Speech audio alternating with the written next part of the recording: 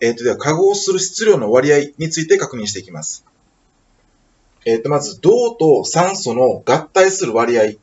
えっ、と、合体する質量の割合が4対1です。えっ、と、まあ、単純に言って、銅 4g に対して酸素 1g と合体します。はい。で、マグネシウムと酸素の場合には3対2です。はい。えっ、と、物質によってこの質量、合体する質量の割合が決まっているので、えっ、と、これをまず覚えるようにしてください。では、例題です。えっ、と、銅 8g と結びつく酸素は何 g か。はい。えっ、と、銅 8g と酸素がまあ完全に結びついたとして、その時の酸素は何 g ですかという問題です。はい。で、えっ、と、さっきのこの4対1を使います。銅が 8g ということは、この4対1、この4と比べてみて、今銅が2倍になっています。はい。であれば、結びつく酸素も、えっ、と、これの1の2倍です。はい。だからこの時の答えは 2g が正解になります。では、括弧の2番です。銅 2.4g と結びつく酸素は何 g か。はい。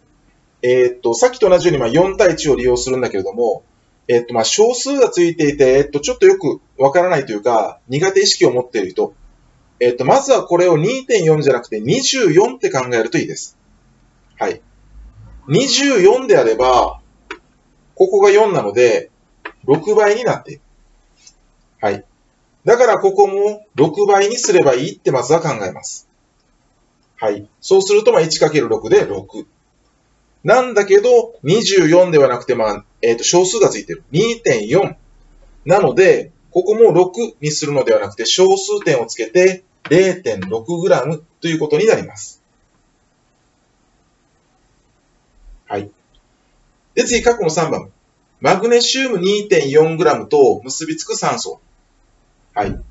マグネシウムと酸素の場合は3対2なので、今度はこの3対2を使います。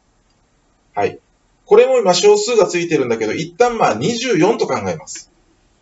そうすると、3から24だから8倍。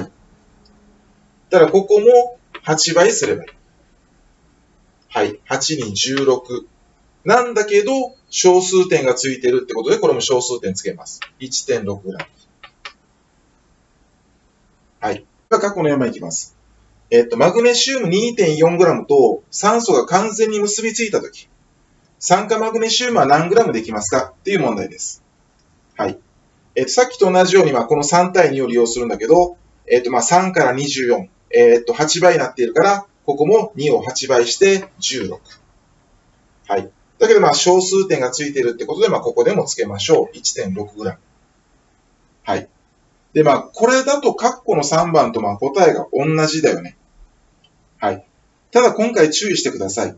聞いているのは酸化マグネシウムが何グラムかです。はい。今までは酸素が何グラムですか？って聞かれていたので、そのまま、えっ、ー、と、これがもう答えだった。はい。だけど今聞いているのは、酸化マグネシウムです。マグネシウムが 2.4g。そして今酸素が 1.6g。であれば、酸化マグネシウムはこれらが合体してできるものなので、2.4たす1.6足し算をします。はい。よってこの場合の答えは 4g、あるいはまあ 4.0g ってことになります。